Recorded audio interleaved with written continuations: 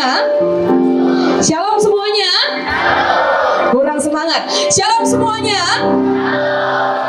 Tapi saya percaya semua yang di sini adalah umur 13 sampai 17, betul? Ada yang mungkin umur 50 di sini? Ada? Tidak ya? Ada yang mungkin nyasar, Kak saya ternyata umurnya 23 Kak, saya salah kelas. Ada? Tidak ada ya. Saya percaya semua di sini 13 sampai 17 tahun. Sebelum saya mulai, saya mau tanya dulu ini. Siapa di sini em, yang dari kota Bekasi? Boleh angkat tangan? Kota Bekasi? Yang pede gitu loh. Kalau angkat tangan tuh yang pede. Saya. Kok sedikit banget Bekasi? Oke. Sekarang siapa yang datangnya dari kota Jakarta? Boleh angkat tangan? Sedikit juga. Ini dari mana sisanya? Eh, Pulau Jawa. Pulau Jawa. Oh, kabeh iki ya. Oke oke oke. Sumatera. Sumatera. Oke, Kalimantan ada? Wow, lengkap. Eh, Sulawesi? Wow, ada juga. Papua. Wow, lengkap ya, luar biasa ya. Saya percaya luar biasa 38 provinsi berkumpul ya, 5 pulau berkumpul di tempat ini. Tapi hari ini saya mau sharingkan tentang suatu hal. Kita ini adalah generasi yang umurnya 13 sampai 17 tahun. Menurut data, menurut data, menurut data, kita ini masuk generasi Z menurut data. Benar atau enggak? Betul ya. Kita 13 sampai 17 tahun, kita adalah generasi yang sebenarnya masuk generasi Z. Tapi setiap generasi ada kelebihan dan ada kekurangan. Buat saya gini ya, saya punya anak dua, namanya Mia dan Elion. Dari sejak dia umur 2 tahun, 2 tahun, dia sudah bisa main game di iPad. Kau bisa bayang nggak? Anak umur 2 tahun, adiknya yang kecil, bukan yang besar, anak saya umur 2 tahun, dia sudah bisa main game di iPad, bisa buka iPad, bisa tahu pakai fingerprint. Anak umur 2 tahun. Saya tanya, dulu waktu kamu 2 tahun main HP nggak? Kayaknya belum ya, zaman kan belum. HP-nya masih eh, belum ada fingerprint kayaknya ya, 2 tahun lalu, yang waktu kamu umur 2 tahun. Tapi anak saya umur 2 tahun, dia udah bisa main HP dan buka HP minta fingerprint. Dia tahu di mana volume, dia tahu gimana cara besarin layar, dia tahu gamesnya di mana dia tahu. Umur 2 tahun. Karena buat saya gini ya, generasi itu punya kelebihan dan punya kekurangan. Maaf, maafkan saya ya, mama saya dan semua pendahulu-pendahulu kita. Mereka maaf ya, Keisha, tolongin mama untuk share foto ke teman mama. Share foto gampang nggak? Buat kita gampang guys, tapi buat mama saya itu susah. Keisha katanya di retret ini taktik ada namanya filter Instagram, tahu nggak? Tahu nggak filter Instagram? Tahu. Mama saya bilang ini gimana nya? Saya mau foto, saya mau foto di filter Instagram, goyang-goyang katanya. Ya mah itu dipencet aja, dipencet aja mah. Itu nggak ngerti caranya. Tapi saya percaya setiap generasi itu punya kelebihan dan punya kekurangan. Generasi ini yang pasti kita canggih dalam teknologi, canggih dalam digital. Tetapi menurut data yang sama, generasi ini juga katanya menurut data kesehatan mentalnya mengerikan katanya. Siapa di sini yang suka galau-galau? Gak usah angkat tangan, malu, malu, malu. Gak usah angkat tangan, dalam hati aja. Siapa di sini kalau putus pacar suka nangis? Nah, senggol semua temannya ya. Siapa di sini kalau misalkan disakiti eh, bapernya seminggu tambah dua hari? Heeh, tambah dua hari itu additional tambahan.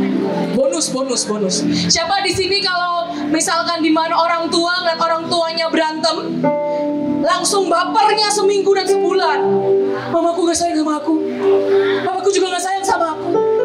Kakak punya teman, kakak punya teman, keluarganya harmonis, baik, keuangan oke, nggak ada masalah. Setiap hari bisa makan loh, setiap hari bisa makan tuh berkat loh, bener. Setiap hari bisa makan tuh berkat.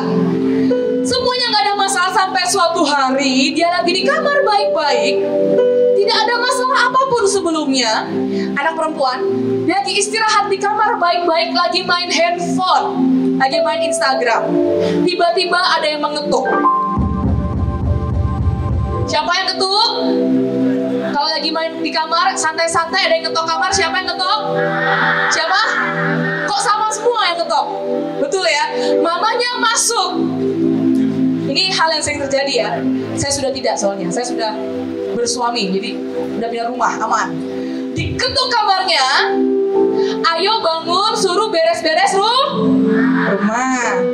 Ayo bangun kerjain P PR. Dan mamahnya marah-marah, ketok pintu kamarnya. Kamu tahu anaknya ngapain? Stres. Cuma karena disuruh beresin rumah. Dia bilangin, mamahku nggak pengertian. Mamahku ini nyuruh-nyuruh terus. Kamu tahu nggak, mah? Aku tuh sekolah capek. Dari jam 7 pagi, pulangnya jam 3. Belum juga PR. Kamu tahu nggak, di sekolah itu aku naksir orang, orangnya nggak naksir sama aku. Kamu tahu nggak, aku baru dimarahin guru. Kamu tahu nggak, mah? Please, understand. Tolong ngertiin aku. Mamanya datang ke kamar, ngetok pintu. Waktu dibuka, marah. Kamu tahu dia marah sampai ngapain? Sampai silet tangannya. Lucu, teman saya uh, rumahnya tuh temboknya triplex, tahu ya? Temboknya triplex. Suatu hari papahnya berantem sama dia, papahnya kasar, anak ini diambil kepalanya ditarik, dijedotin ke tembok. Tapi temboknya triplex nembus ke tetangganya, saudara. Jadi papanya lagi marah dipukul gitu ke tembok, dus, dus, nembus nembus ke tembok rumah tetangganya. Tapi sekali lagi, generasi ini iblis coba ganggu, iblis coba bohongi bahwa sering kali sering kali masalahmu lebih besar dari kamu tahu kalau Tuhan itu lebih besar dari masalahmu. Seringkali iblis coba bohongi bahwa ada sebuah ketakutan, ada sebuah keraguan dalam hidupmu. Yang pertama, kita sama-sama baca ya. 2 Korintus 2 Chronicles 13 eh, ayat 7. Saya baca bahasa Indonesia-nya aja biar nggak salah. Dan yang ternyata tidak berguna, semua yang tanpa prinsip, semua yang tidak etis berkumpul di sekitarnya, mereka yang tidak berguna dan jahat, yang terbukti terlalu kuat bagi Rehabeam putra Salomo. Sekali lagi, ulangin ya. Yang terbukti terlalu kuat bagi Rehabeam putra Salomo. Putranya siapa? Salomo. Salomo anaknya siapa? Daud. Ini cucunya Daud. Buat saya, saya percayalah ya. Mungkin kalau Rehabeam, siapa itu kak Rehabeam kak? Gak pernah diajarin di sekolah minggu. Tapi kalau Daud semua tahu ya. Menurut saya, saya Daud semua tahu. Salomo mungkin semua orang hampir tahu. Ini anaknya, cucunya dari Daud. Papahnya Salomo. Tapi ayatnya berkata seperti ini, ketika Rehabe masih muda dan hidup dalam keraguan, mereka tidak dapat melawan mereka. Jadi ternyata waktu Rehabe masih muda, dia tidak cukup kemampuan, tidak cukup kekuatan untuk melawan yang namanya keraguan-raguan. Saya ulangin sekali lagi. Ini cucu. Bayangin ya, Kak, soalnya ya Kak, keluarga saya ini broken home Kak saya nggak tahu keluarga normal tuh gimana nggak tahu. Emang ada keluarga normal? Nggak tahu kak, saya nggak tahu. Cuma ini Rehabeam, ini adalah anak dari Salomo, cucu dari Daud.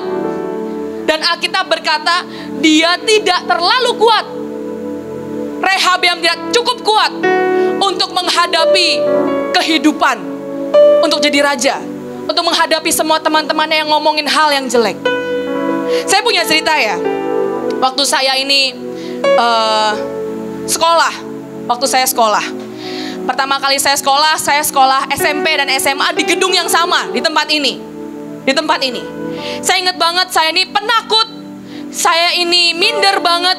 Dulu kalau saya beli permen ke, rum, uh, ke warung, saya beli permen ke warung, setiap kali saya beli permen saya akan nangis dulu 5 menit Kenapa saya nangis 5 menit? Saya takut cuma mau ngomong ke mbak-mbaknya, mbak, uh, saya punya uang nih seribu, mau beli sugus dua. Itu saya takut dan nangis dulu 5 menit. Kamu bisa bayangin ya, semengerikan apa orang yang di depanmu. Tapi kalau di sekolah waktu saya SD ada laki-laki yang kurang ajar sama temen geng saya. Oh saya gini-gini ketua geng ya. Tapi gengnya temennya bukan yang pinter, bukan yang cantik, bukan yang populer. Yang paling aneh semua yang paling aneh itu teman saya. Kamu tahu ya, ada yang paling aneh dalam satu kelompok. Kelompok itu teman saya semua. Kalau ada yang gangguin teman saya, saya akan kejar cowoknya, saya akan angkat cowoknya. Kan saya tinggi. Saya jangan ditiru ya. Tolong, inspirasi jangan yang gini. Ini salah. Saya akan angkat cowoknya. Saya tempel ke tembok. Mau ngapain lu? Mau ngapain lu? Itu saya dulu. Saya pernah marah. Kalau saya marah sama orang tua, siapa di sini yang kalau marah, kamu pernah angkat kasur orang tuamu, kamu buang ke jalan? Siapa? Boleh angkat tangan? Ada nggak? Temenin saya lah, please. Nggak ada. Saya marahnya aneh ya berarti ya. Nggak ada sungguhan. Satu lah, please temenin lah.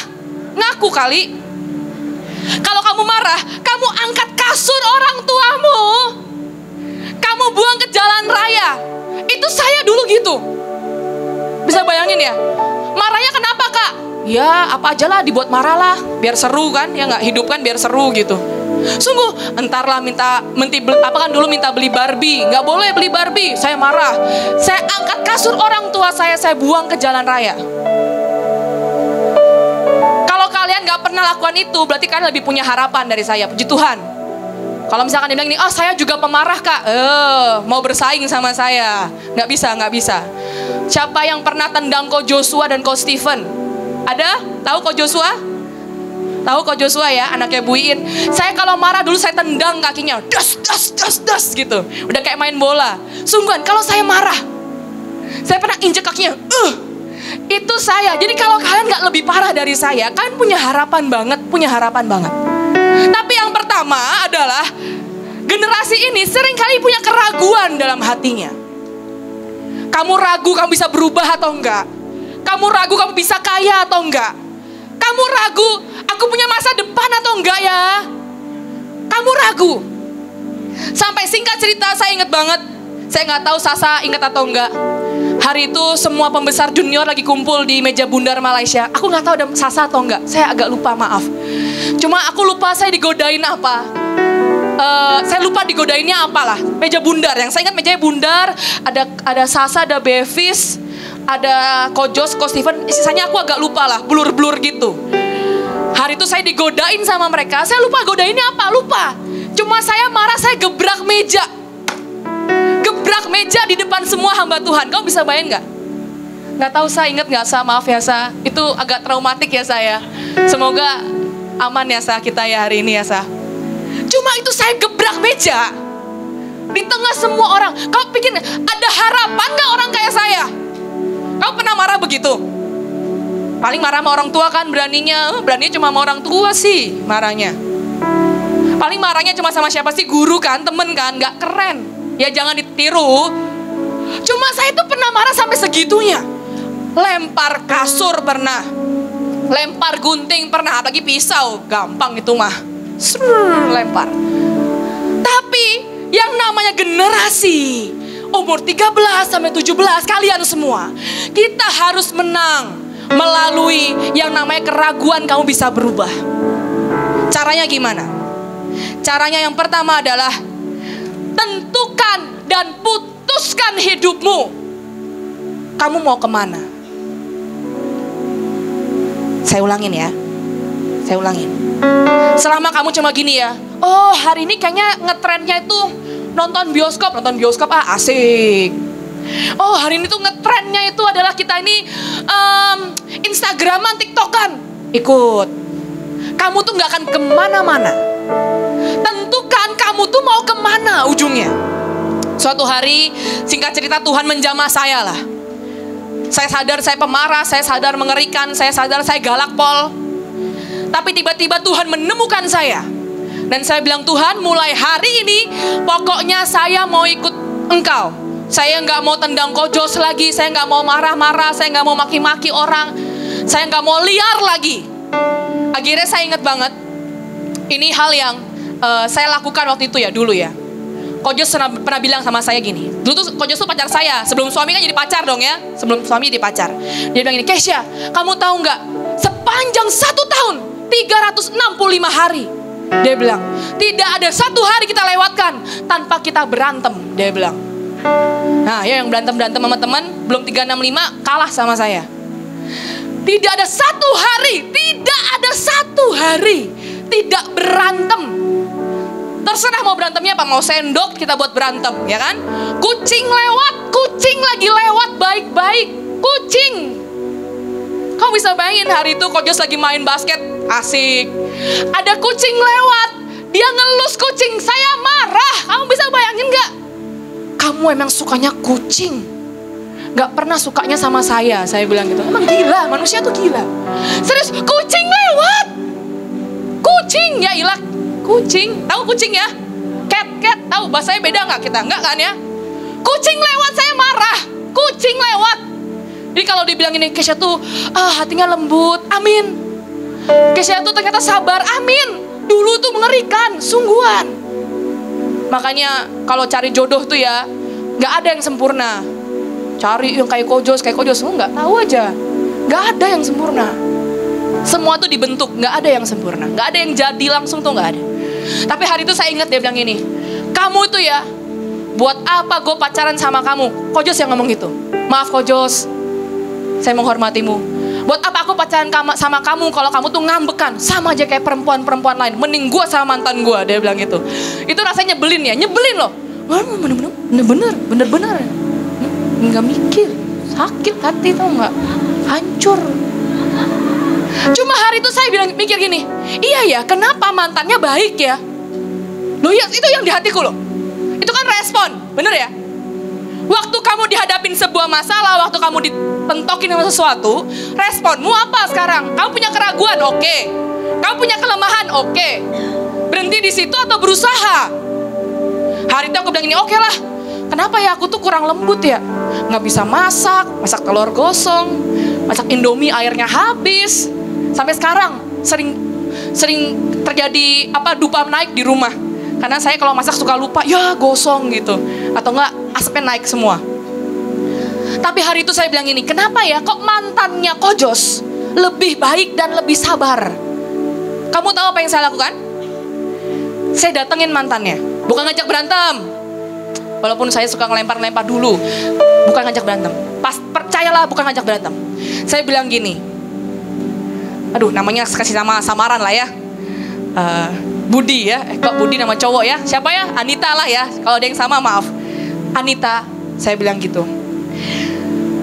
Aku ini kan dapat dari Tuhan, jodohku dan pacarku tuh kojos. Aku bilang gitu. Cuma, aku nih setiap hari berantem terus sama dia, gue gak ngerti kenapa. Salah semua. Es batu salah, sendok salah, gelas salah, piring salah, baju salah, rambut apa mau belok sini atau belok sini salah, semua salah. Eyeshadow salah, lipstick salah, bedak ketebelan, bedak ketipisan, mengkilap bau, sampai bulu rambut diketek aja itu diurusin, no bayangin gak sih? Lo segitunya loh. Kamu rela gak diatur orang sampai bulu ketekmu diatur? Lo sungguhan. Sampai kok justru nyuruh orang kasih tahu Kesia, tolong kasih tahu Kesia, itu bulu ketek dicukur. Kamu tahu nggak segitunya? Sanggup nggak kamu? Lo kalau kamu mau berubah, fight. Oke, sekarang gue jelek, mungkin bulu ketek gue jelek sekarang. Nggak usah dicari-cari ya. Aman hari ini. Mungkin hari ini jelek. Cuma kalau kamu berhenti di jelek, ya forever kamu berhenti di jelek. Cuma kamu harus fight dan berubah. Lawan keraguan-raguan, lawan ketakutanmu, lawan itu loh kecenderunganmu. Lawan, dilawan, tahu ya dilawan? Dilawan. Akhirnya hari itu saya datangi mantannya, nama disensor. Saya bilang ini, boleh nggak? Tolong doakan saya. Saya berlutut depan orangnya. Saya bilang, tolong doakan saya. Saya ini nggak ngerti. Saya ini pemarah. Saya nggak ngerti orang. Orang udah marah maki-maki, udah emosi. Saya nggak tahu dia lagi marah. Saya ketawa-ketawa di depannya. Nggak ngerti. Buta emosi, tahu buta emosi? Kalau teman muda marah dan nangis, kamu masih kayak kenapa ya dia ini ada masalah atau kenapa ya keinjek kakinya kali ya? Cuma itu saya berlutut di depannya dan saya bilang ini, aku nggak tahu lah mungkin ini nyebelin buat kamu ya, karena kan sekarang aku pacarnya, dia mantannya ya kan ya nggak sih? Mungkin ini nyebelin lah, cuma biarkan Tuhan menganggap ini sebagai kebenaran di hadapannya. Dan Tuhan menganggap ini sebagai iman yang Tuhan lihat pada hari ini. Aku nggak tahu lah dengan tupang tangan apakah aku berubah hari itu juga enggak sih. Cuma Tuhan ini langkah imanku hari ini. Hari ini ada Sasa. Ada banyak hamba-hamba Tuhan di tempat ini. Kejar mereka. Kamu tahu kamu tuh males. Kejar. Jangan males di kamar ya, ilah makin males lah.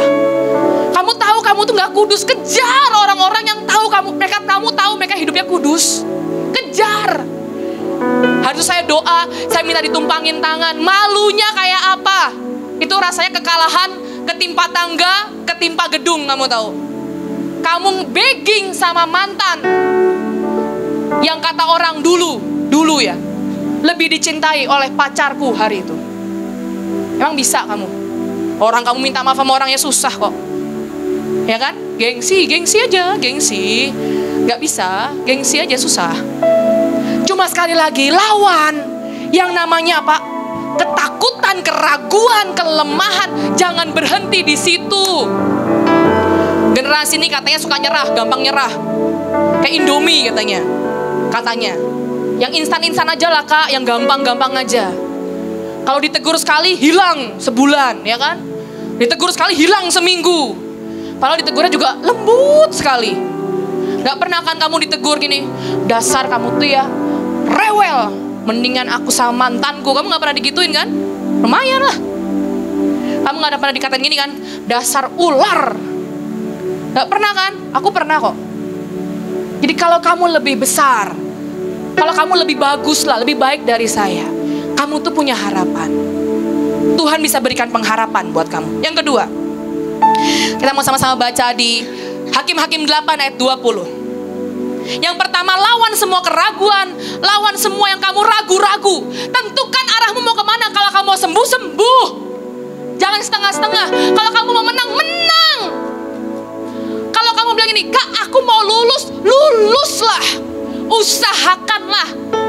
Kak aku mau mengampuni, usahakanlah. Pengampunanmu tuh diusahakan. Jangan cuma mulut. Usahakan. Buktikan. Tunjukkan. Tapi belum kuat kak, nanti gagal lagi. Ya nggak apa-apa. Namanya juga mencoba. Dibanding orang yang nggak mencoba dan ngurung diri di kamar. Ya kan? Kak susah kak mengampuni kak susah kak melepaskan perjinahan susah. Usahakan. Yang kedua, Hakim-hakim 8 ayat 20. Katanya kepada Yeter, anak sulungnya, bangunlah, bunuhlah mereka. Jadi zaman hari itu bangsa Israel punya musuh. Papahnya Yeter bilang ke Yeter, Yeter bangun dari bobo, bangun dan bunuhlah mereka. Lanjutnya adalah, tetapi orang muda itu tidak menghunus pedangnya karena ia takut sebab ia masih muda. Sekali lagi saya ulang. Tetapi orang muda itu tidak menghunus pedangnya karena ia takut sebab ia masih muda. Yang pertama, kamu harus punya arah kamu mau ke mana. Yang kedua, sering kali kita takut karena kita tahu kita belum bisa. Contoh, siapkan hati dan siapkan uh, perasaan kalian ya. Saya akan keliling, saya akan minta satu orang untuk nyanyi jadi WL di depan. Ya. Siapkan hatimu, siapkan hatimu, nunduk semua, nunduk semua, takut semua, takut kan? Saya mau pilih satu orang ya, siapa ya? Dalam nama Tuhan Yesus, semoga suaranya pas ya Tuhan Yesus ya. Semua langsung ada yang beri lihat ya. Sisi kiri sudah aman kayaknya ya, udah mulai tenang. Saya mau ajak satu orang, satu orang, satu orang, satu orang. Siapa ya? Semua takut nih. Silakan Gabriel. Bangkit berdiri. Maju ke depan. Hari itu kayak gini kira-kira. Maju. Udah gue naik. Bagus. Kasih saya satu lagu. Dari mana mainnya? Tahu nggak? How great is our God? Oke? Okay? So, ada cowok apa nih? Serah. Coba. Hadap depan. Semua dia WL-nya ceritanya. Dia WL-nya ceritanya ya. Bantulah, dibantu. Kasihan, tegang banget itu. Ayo semua saudara-saudara gitu. Semua saudara-saudara, Kita bangkit berdiri. kita bangkit berdiri. Yang pede, yang pede ngomongnya. Mereka deketin, mereka deketin. Ayo semua saudara-saudara, mari kita bangkit berdiri memujikan nama Tuhan. Angkat tanganmu.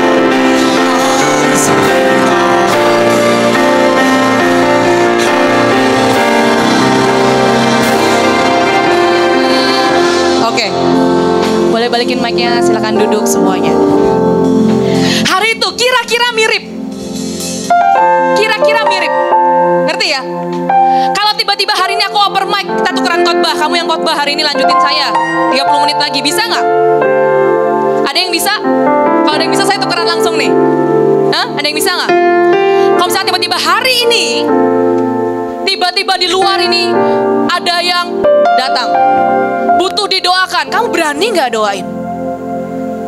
Yang pertama, anak muda tuh suka punya keraguan. Yang kedua, ketakutan. Kenapa? Karena kamu nggak prepare buat itu. Kamu nggak upgrade dirimu, tapi sibuknya joget TikTok, joget. Saya juga nggak tahu gerakannya sih.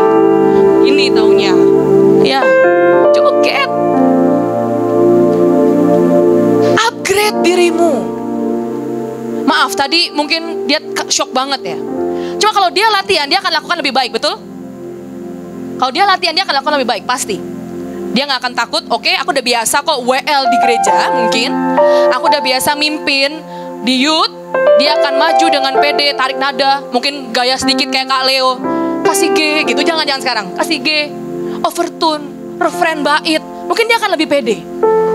Tapi belum latihan, banyak. Saya ajarin ya. Dulu-dulu di tempat yang sama. Di tanah yang sama. Waktu saya masih SMP. Kalian SMP kan? Bener nggak? Siapa yang SMP di sini? Oke, samalah, nggak gitu jauh. Waktu saya SMP, ada guru saya yang saya cintai di belakang namanya Seroy Miller. Boleh bangkit berdiri Seroy Miller? Bangkit berdiri lah, Sir. Guru saya tercinta. Ini guru saya yang ngerjain saya dulu. Dulu guru saya bilang gini, Kesha, eh, di Mahanaim, ini kan sekolah Mahanaim, ada perlombaan khotbah dalam bahasa Inggris gak? Ke- kenapa gitu loh? Perlombaan, ya sekali lagi ya, perlombaan tapi dalam bahasa Inggris. Percayalah, saya khotbah dalam bahasa Indonesia mau nangis. Gak usah Inggris, bahasa Indonesia saya mau nangis kok. Saya nggak tahu kenapa hari itu Seroy Miller, guru saya yang saya cintai, wali kelas saya yang saya paling saya cintai sampai saat ini. Tidak ada yang bisa menggantikan wali kelas saya yang itu. Yang itu pokoknya ya. Kalau ada yang lain tersinggung saya minta maaf. Cuma memang yang ini spesial buat saya di hati saya. Dia suruh saya khotbah mewakili kelas. Saya nggak tahu kenapa, mungkin yang lain nggak mau. Kesha, kamu wakilin kelas 9D. Saya inget banget, 9D. Ujung sana. Ada yang kamarnya 9D? 9D, paling atas ujung kanan. Kamu mewakili kelas untuk berlomba.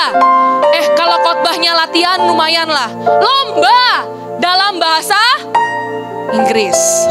Percayalah, karena saya mencintai guru saya hari itu. Modalnya cuma cinta. Saya bilang ini, oke saya mau khotbah dalam bahasa Inggris. Siap. Setelah saya bilang siap, saya nyesel. Saya nyesel, senyesel-nyeselnya. Saya mau ngomong apa, mau khotbah apa. Saya inget temanya hari itu lima talenta atau talenta lah. Tentang mengembangkan talenta. Tapi saya inget banget, saya inget banget. Hari itu saya nyiapin khotbah. Satu HVS A4 lembar gini. Tulisan semua. Dan saya tidak bisa tidur tiga hari. Tahu udah tahu? Saya khotbah di sini. Saya ingat banget. Saya khotbah berdiri di sini. Saya khotbah cuma pegang mic dan baca tulisan. Nggak kayak gini ngomong gini kayaknya semangat kok kayaknya pede. Dulu saya mulai dengan saya kertas satu lembar saya cuma baca. Selesai khotbah saya nangis di tengah khotbah saya nangis kok. Ya seru ya. Selesai khotbah kalian tahu saya ngapain? Saya pulang ke rumah karena saya demam tinggi. Saking grogi saya demam tiga hari. Khotbah dilombain, dilombain khotbah bahasa Inggris. Hello everybody gitu. Kacau lah, percayalah. Percayalah kacau. Teman saya pede banget sampai jalan-jalan ke jemaat. Bajunya bagus banget, Inggrisnya lancar banget. Saya khotbah cuma tiga menit. Baca tulisan. Di tengah tulisan saya nangis. Pulang saya demam tiga hari nggak bisa bangun dari kasur. Itu saya mulai dengan itu. Cuma itu nggak membuat saya berhenti. Kalau mungkin kamu tahu kamu pernah jadi yeter ya. Kamu melewatkan kesempatan dalam hidupmu. Kamu pernah ditawari pelayanan, apa pun lah pelayanannya. Pelayanan itu kan gak harus yang di depan. Semua tuh pelayanan, kamu tahu ada tim galon. Yang bajunya gak pernah kering kulihat. Kamu tahu kamu minum kan dari galon, bener gak? Tim galon yang bajunya tuh gak pernah kering, kenapa ngangkat galon terus? Kamu sesi dia angkat galon, hujan angkat galon, malam angkat galon, ada pelayanan angkat galon di sana. Tapi yang kedua adalah upgrade. Belajar. Kalau kamu bilang ini, kamu dinubuatkan, misalkan kamu dinubuatkan. Hari ini kamu ke depan nanti ya, kamu ini akan khotbah di depan banyak orang. Latihan khotbah. Buat khotbah nggak ada yang manggil kak. Percayalah, saya belajar, saya pertama kali ngajar khotbah itu waktu saya kuliah di Malaysia. Jemaat saya anak sekolah minggu hanya tiga orang. Ini banyak lumayan tiga orang kamu tahu dan mereka tidak bisa bahasa Indonesia dan bahasa Inggris. Tiga orang bahasanya Chinese kamu tahu nggak? Mau ngomong apa? Aku mau khotbah apa? Tiga anak kecil sekolah minggu. Saya harus share, saya harus jaga mereka tiga jam setiap minggunya. Kojos khotbah di umum.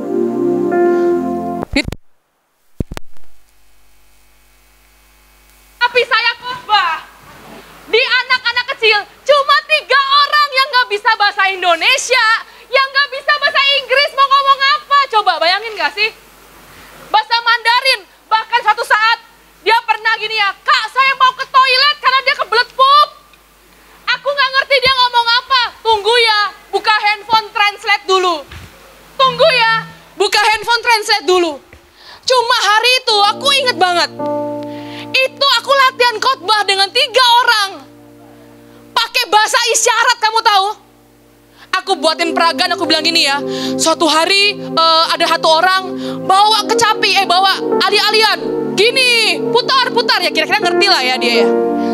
Aku khotbah pakai bahasa isyarat. Cuma sama tiga orang, setahun. Diundang nggak ke tempat yang lain? Belum. Mulailah dari yang kecil. Mulailah masuk dalam panggilanmu. Mulailah upgrade. Kalau kamu tahu kamu penyanyi, latihan. Latihan, sungguhan. Kalau tahu kamu uh, penyembah, latihan musik. Loh gini-gini saya bisa main drum. Sungguhan, nggak usah dibuktiin lah, nanti sombong. Kemuliaannya bagi-bagi nanti jadinya nggak usah lah. Lo bisa, bisa-bisaan lah ya, nggak yang bisa banget gitu nggak. Gini-gini saya bisa main gitar dan keyboard. Kenapa? Karena saya tahu kalau suatu hari KKR dan tidak ada pemain musik, maka ini waktunya saya bersinar. Betul Romana? Iya sungguhan. Kalau pemusiknya telat, saya yang main. 5 menit awal lah, lumayan. Ada bunyinya lah minimal. Latihan sungguhan. Latihan ngatur uang, latihan ngatur orang, ngatur dirimu itu loh. Tiba-tiba ada anak kecil lain datang. Mulai mendominasi, mulai naik tangga. Maka dia teriak satu hal. Apa? Papa! Dia akan teriak papahnya. Dan apa yang tahu apa yang terjadi kalian tahu? Papahnya akan datang. Papanya kan tinggi besar ya. Akan jadi King Kong papanya. Sungguhan, ini sungguhan. Ini true story. Papanya akan jadi King Kong dan dia bilang gini. ah, ah. Dia takut-takutin anaknya sampai anaknya nangis. Walaupun dalam hati saya, Pak, kayaknya hamba Tuhan deh, Pak. Kayaknya kurang-kurangin deh yang gini, saya bilang. Ini kalau ternyata ini anak jemaat gimana, Pak? Aku bilang, nggak apa-apa lah, yang penting anakku bangga, katanya gitu. Saya ingat banget hari itu, ada satu tangan kayak gini. Dan anak saya Miel, dia tuh mau main masak-masakan tuh, dapur-dapuran, tahu ya, dapur-dapuran. Tapi dia nggak mau, radius sekian kilometer ada orang lain. Kamu tahu apa yang dilakukan papahnya? Semua barang didorong jadi tembok satu ruangan ini kan tempat bermain. Setengahnya di barikade. Tahu barikade? Dikasih tembok biar orang lain nggak bisa lewat. Setiap kali ada yang mau lewat begini, papanya akan jadi kingkong. Ha ha ha ha ha. Ini daerah saya, bayar bayar bayar. Mau takut is percayalah. Itu yang jadi kalau bawa papahnya ke tempat bermain. Makanya saya bilang udah pak kita yang main sama mamahnya aja. Kita buat masalah nanti di tempat bermain.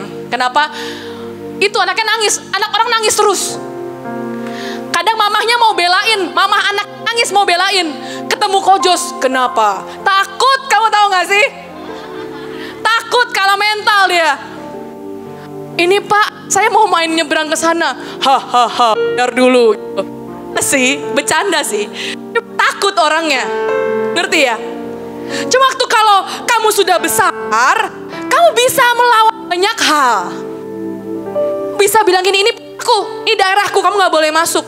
Tapi waktu Mial masih kecil, dia butuh pertolongan papa, papahnya.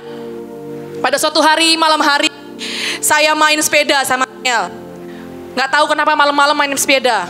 Eh namanya juga iseng aja lah, iseng naik sepeda. Di tengah perjalanan naik sepeda, maka Mial ngomong sama papahnya, Papa, itu ada apa? Mulai panik kita. Apa? Apa yang lihat? Itu pohon. Oh, itu pohon nak, biarin aja pohonnya di situ. Enggak pak, ada orang di atas pohon. Mulai mikir kan, orang di atas pohon, orang atau bukan? Yang mana pohonnya? Itu pak, pohon depan rumah. Kita lihat pohonnya, emang siapa tahu ada nggak sih ya? Siapa tahu, kan positif thinking lah ya. Kita lihat, nggak ada Miel, ada orang di atas pohon.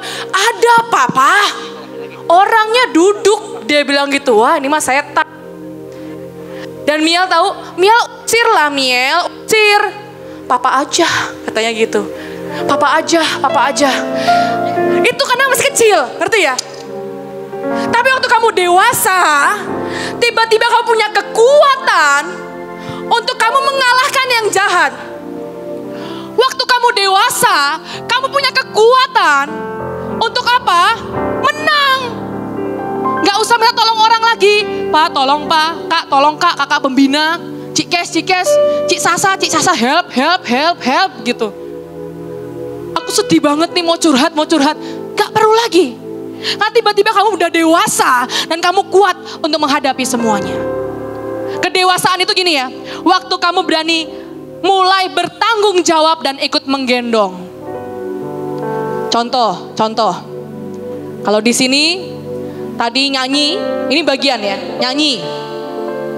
Udahlah biarin aja lah, WL-nya nyanyi lah, kasihan amat itu, listriknya mati ya, ya ilah gitu. Udah panas lagi, panas. Biarin aja lah dia nyanyi sendiri, kan bagian dia, kan aku nggak tugas. Itu nggak ikutan bertanggung jawab dan menggendong. Coba waktu kamu dewasa, kamu belajar untuk ambil bagian. Kasihan juga ya kakaknya teriak-teriak terus nih, mic-nya gonta-ganti terus, kasihan juga ya. Aku dengerin ah sungguh-sungguh jangan senggol-senggolan. Tapi sekali lagi yang pertama adalah yang pertama adalah tentukan arahmu. Yang kedua adalah upgrade kalau kamu tahu arahmu ke sana, kamu punya keraguan, kamu punya ketakutan, lawan. Kamu punya kelemahan, lawan, jangan berhenti.